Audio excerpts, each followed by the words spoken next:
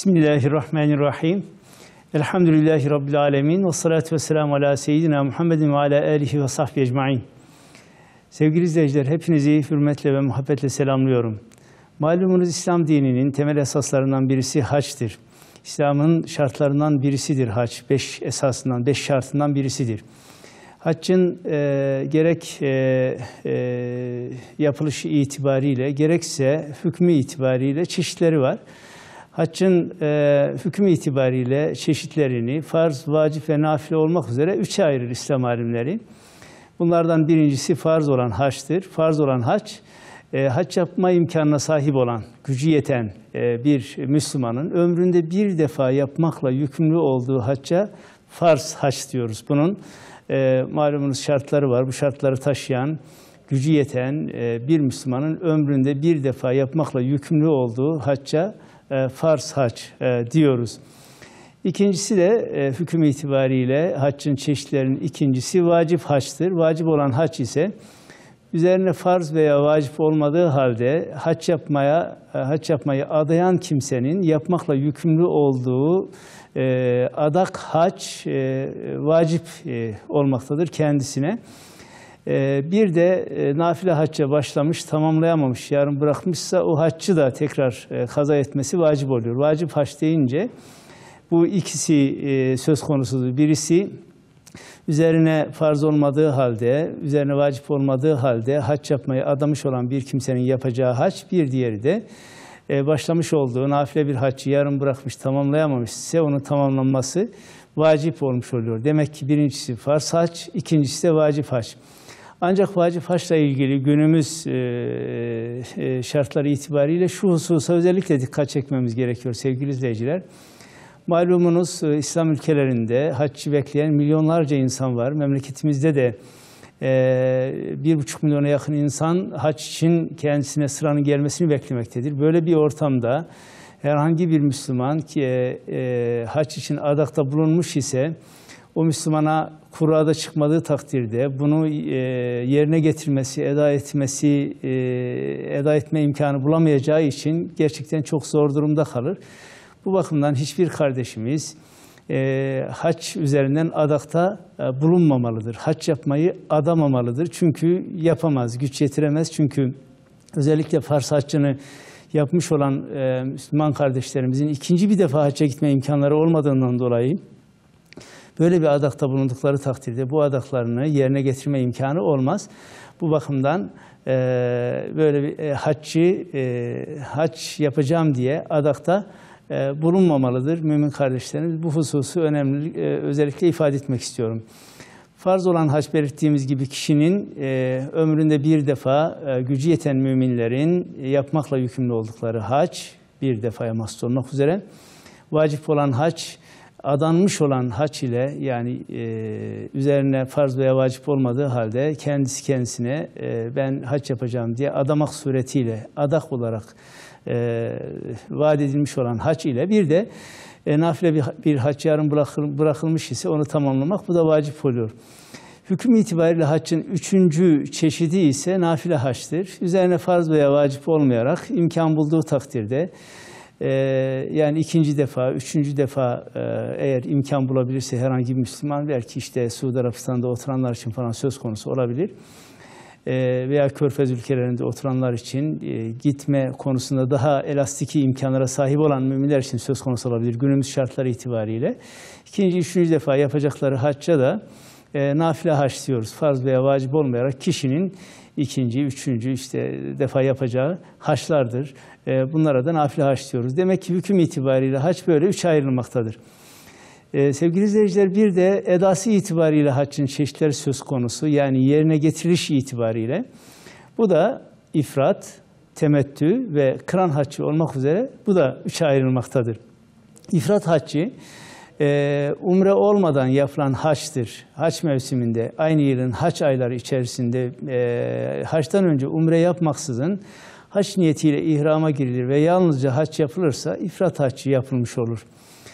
E, temettü haccı ise aynı yılın haç ayları içerisinde önce umre yapıp ihramdan çıktıktan sonra yeniden haç için ihrama girerek yapılan haçtır. Dolayısıyla aynı e, haç ayları içerisinde, aynı yılın haç ayları içerisinde önce umre yapılıp ihramdan çıkılıyor. Daha sonra tekrar e, ihrama girilerek haç eda ediliyor.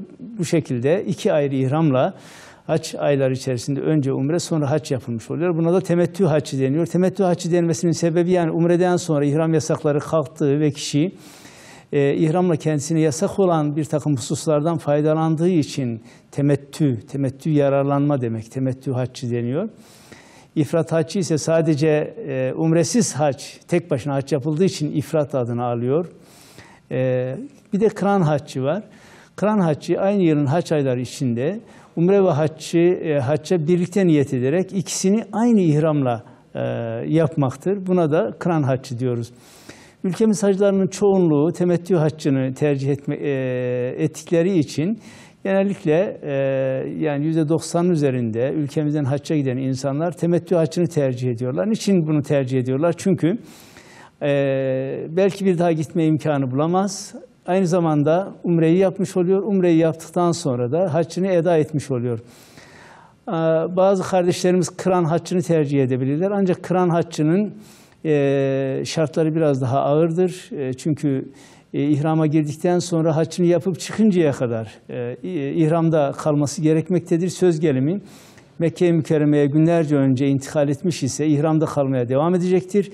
Umresini yaptıktan sonra ihram, ihramdan çıkmayacak, ihramda kalmaya devam edecek ve ancak e, Arafat vakfesinde yapıp yapıp e, kurbanını falan kestikten sonra e, ihramdan çıkabilecektir. Bu bakımdan e, genellikle ülkemiz e, insanların tercihi temettü haccından yana e, olmaktadır sevgili izleyiciler. E, bu e, haçlar arasında bazı ufak farklılıklar var. Onlara da inşallah temas edeceğiz Allah nasip ederse. E, bu bu arada şu hususa özellikle işaret etmek istiyoruz. Temettü ve kıran haccı yapmanın bazı şartları vardır. Mesela Mekke'de oturanlar, Mekki olanlar temettü ve kıran haccı yapamazlar. Bu bakımdan hac edecek kimsenin afaki olması yani mikat sınırları e, e, içinde harem ve hil bölgesinde e, ikamet etmemesi gerekiyor. Burada ikamet edenler temettü ve kıran haccı e, yapmaları caiz değildi. E, haç aylarından önce Mekke'ye giden e, ve haç günlerine kadar orada kalan, söz gelimi Ramazan ayında gidip orada kalmış olan artık haccını da yapıp dönecek şekilde kalma imkanı bulunan kişiler de aynı Mekkeli hükmünde oldukları için onlar da e, ifrat haccı yapmak zorundadırlar. Temettü ve kıran haccı yapamazlar. E, demek ki birinci şartı e, temettü ve kıran haccı yapacak olanların e, birinci şartı afaki olmaları. Yani mikat sınırlarının dışından gelmeleri haç ayları içerisinde. E, birinci şart budur. Bu şartı taşımayanlar temettü ve kıran haccı yapamazlar. E, Mekkeli olanlar veya Mekkeli hükmünde olanlar ki bunlar da kaç aylarından önce Mekke-i Mükerreme'ye gitmiş orada ikamet etmeye başlamış ise o takdirde bu e, kimselerin de e, Mekkeli gibi hareket ederek ifrat haccı yapmaları gerekiyor. İkinci şartı e, e, sevgili izleyiciler Umre ve haccın her ikisinin aynı yılın hac aylarında e, yapılması e, gerekiyor. Temettü haccı yapacak olan kimse umreyi hac aylarından önce e, yapar veya umre tavafının e, en az dört şartını söz gelimi hac ayları henüz girmeden e, tamamlarsa yaptığı hac temettü veya kıran değil ifrat hac olmuş olur. Demek ki umreyi de hac ayları içerisinde yapacak ki e, bu e, temettü haccı yapmış olsun veya kıran haccı yapabilsin. E, umresini daha önce yapmış ise temettü ve kıran haccı yapamaz. Hac, öyle, hac aylarından önce yapmış ise. Üçüncü şart ise hac aylarında yapılan umreden sonra e, memleketine dönmemesi gerekiyor. Memleketine yani mikat sınırlarının dışında bulunan memleketine e, umre yaptıktan sonra herhangi bir sebeple e, döne, döne, dönen kimsenin temettü haccı yapabilmesi için yeniden e, umre yapması gerekiyor hac ayları içerisinde. Aksi takdirde yaptığı hac e, temettü haccı değil ifrat e, olmuş olur. Sevgili izleyiciler, Şafii mezhebine göre umre yaptıktan sonra herhangi bir sebeple mikat sınırlarının dışına çıkan e, kimsenin temettü hacı yapabilmesi için yeniden e, umre yapması gerekir. Bu da Şafii mezhebine göre şart. Aksi takdirde yaptığı hac temettü değil, ifrat haccı olur. Kıran haccında Umreden sonra e, ihramdan çıkılmadığı için e, umre yaptıktan sonra ister e, mikat dışına çıkılsın, ister memlekete veya başka bir yere gidilsin. E, kıran haccı ifrada dönüşmez çünkü aynı ihramla e, e, hac ve e, umre aynı ihramla yapılmaktadır. E, bu e, üç tür haçtan hangisi yapılırsa yapılsın e, haç farizası eda e, edilmiş olur. Ancak e, şu tartışma yapılıyor. Acaba en faziletli haç şekli hangisidir? İslam alimleri de ilginçtir değerli izleyiciler. Bu konuda farklı görüşler ortaya koymuşlar. Hangi haçın daha faziletli olduğu konusunda e, farklı rivayetler nedeniyle mezhep imamları da bu hususta istilaf etmişlerdir. Hanefi mezhebine göre kıran haccı e, daha faziletli görülmüştür. Şafii ve Maliki mezheplerine göre ifrat haccı daha faziletli görülmüştür. Çünkü bütün e, cehdini, gayretini sadece hacca teksif etmiş oluyor bu takdirde. Hanbeli mezhebine göre ise temettü haccı daha e, faziletli görülmüştür. Onun, onun gerekçesi de iki, iki defa ayrı ihrama girmektedir bundan dolayı. Hac ibadetinde gerçek e, fazileti haccın çeşidinde değil daha ziyade edasında gösterilen gayret, samimiyet, huzur, huşu ve ihlasa göre değerlendirmek gerekir. Kişi ne kadar kendisini bu ibadete verebilir ve ne kadar kendi hayatında önemli bir dönüşüm meydana getirebilirse e, e, hac o derece faziletli hale gelir. Dolayısıyla bu şekilde e, iyi bir e, hac şartlarını taşıyan ve hedeflenen bir hac yapabilmek için hac fiil ve davranışlarının manaları ve hikmetleri üzerinde de e, durmak gerekmektedir değerli izleyiciler. E, bu bakımdan hazırlık aşamasından itibaren oradan başlayarak haccı eda edip dönünceye kadar e, yerine getirdiği bütün fiil ve davranışları bilerek eda etmek e, Müslüman açısından büyük önem taşımaktadır. Hayatında özellikle bir defa hac yapabilme imkanına e, sahip bulunan günümüz insanı ikinci bir defa hac yapabilme imkanına sahip olmayacağı için e, Allah'a yükselişi ifade eden e, e, gerçekten her fiil ve hareketinin anlamını birerek yerine getirmek gerekir. Malumunuz Kabe bir hedef değildir. E, belki sonsuzluğa ve manevi e, atmosfere geçişin e, bir simgesi mahiyetindedir, bir kapsı mahiyetindedir.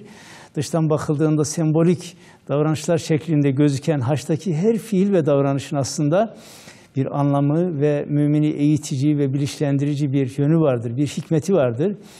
Ee, bu bakımdan değerli izleyiciler bir çağrıyla başlayan haccı, e, Yüce Allah'ın çağrısıyla başlayan e, haccı, e, Allah'ın bu çağrısına e, cevap verecek olan müminin Hazreti İbrahim Aleyhisselam'ın dilinde seslendirilen ilk önce e, e, bu çağrıya cevap verme vermek kendisine nasip olan müminlerin e, bu çağrıyı usulüne göre e, ta itibaren hazırlık aşamasından başlayarak haccın fiil ve davranışlarını anlamlarını bilerek yapmak gerekiyor.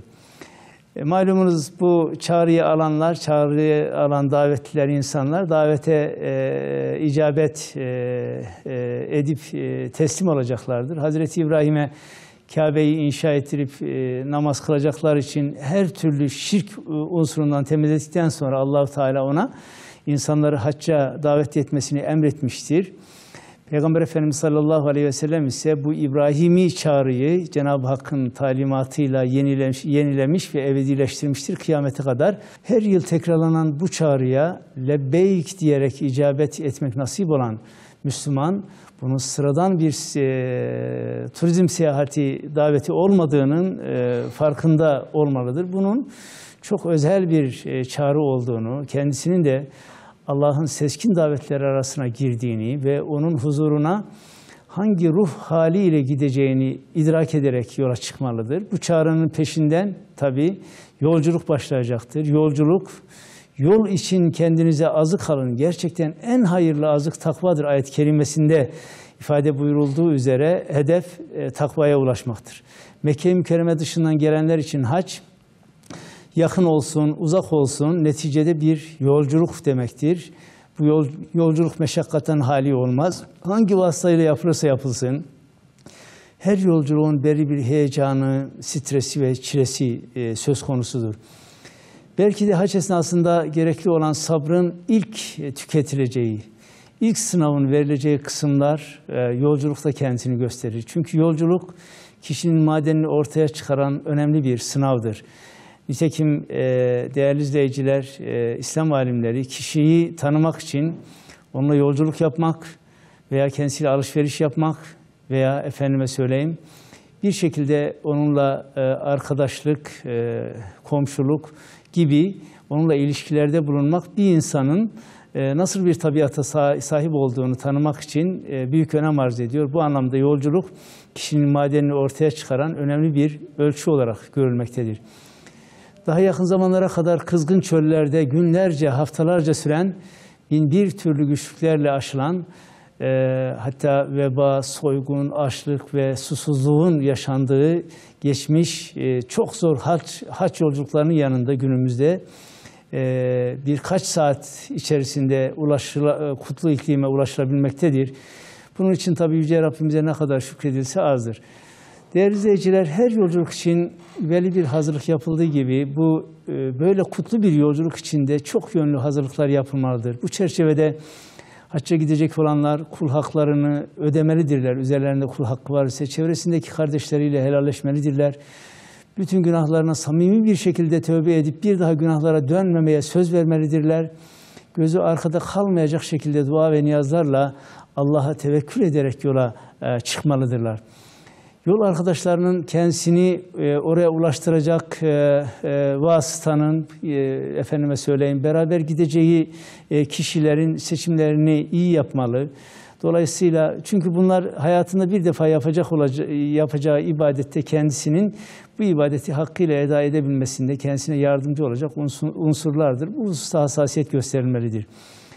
Yolculuğun huzurlu, e, verimli ve bereketli geçmesi için elinden gelen gayreti göstermeli mümin. Herkese iyi davranmalı, himmet ve hizmet etmeli. Allah'a yapılan bir yolculuk olduğunun bilinciyle sanki bunun ebedi yolculuğa, ahirete giden yolculukmuş gibi e, düşünerek böyle bir düşünceyle yola çıkmalı. Aslında ölümün nerede ve ne zaman geleceği bilinmediğinden e, bu ihtimal de hiç yok değildir. Belki de dönemeyecektir bu bakımdan. Yolculuğa çıkarken sanki ahirete e, yolculuk yapıyormuş gibi bir şuurla yola çıkmalı. Yüce Rabbimizin e, Kur'an'da İslam'ı daima bir yol, sebil, e, sırat olarak e, zikrettiğini, Peygamber Efendimiz sallallahu aleyhi ve sellem'in de bir hadis-i şeriflerinde kün fid dünya ke enneke garibun dünyada e, ev abiru sebilin, dünyada bir garip gibi ya da bir yolcu gibi ol hadis-i şerifini e, devamlı hatırımızda tutmalı. Kişi dünya hayatında e, bir yolcu olduğunun farkında ve bilinci, bilincinde olarak hareket etmeli. Burada ebediyen kalıcıymış gibi bir psikoloji ve haleti ruhiye içerisine girmemelidir. Gideceği yere hangi haz, hangi azıkla ve hangi hazırlıkla ulaşabileceğinin, oraya neler götüreceğinin, ahirete neler götüreceğinin hesabı içerisinde olmalıdır. Ayet-i Kerime'de hac yolculuğuyla ilgili olarak ve tezevvedü fe inne hayra zâdit takva e, yanınıza azık alın. En hayırlı azık takvadır buyurulmaktadır. Hac yolculuğuna çıkılırken e, yanınıza azık olarak takvayı alın şeklinde tavsiyede bulunması ayet-i kerimede emir verilmesi kişinin e, hak yolcusu olarak ahirete hazırlanırken de nasıl bir hazırlıkla ve takva ile yola çıkması e, gerektiğini e, anlamak e, mümkündür ve bunu e, hissetmek lazımdır. Değerli izleyiciler, e, hac yolculuğu kutlu bir yolculuktur. Kişiye ömründe bir defa nasip olacak olan bu kutlu yolculuğa gerçekten e, iç içe geçmiş e, hedefler taşıyan bu yolculuğa ahirete gidiyor gibi, tarihe gidiyor gibi, Peygamber Efendimiz sallallahu aleyhi ve sellemin asrına gidiyor gibi, mümin kardeşlerine gidiyor gibi, iç dünyamıza e, bir yolculuğa çıkıyor gibi bir hedefle bu e, yolculuğa çıkmalı. Hac yolculuğu yapacak olan kardeşlerimize bu şuurla e, hac yapmayı Cenab-ı Hakk'ın nasip etmesi niyazıyla hepinizi hürmet ve muhabbetle selamlıyorum sevgili izleyiciler.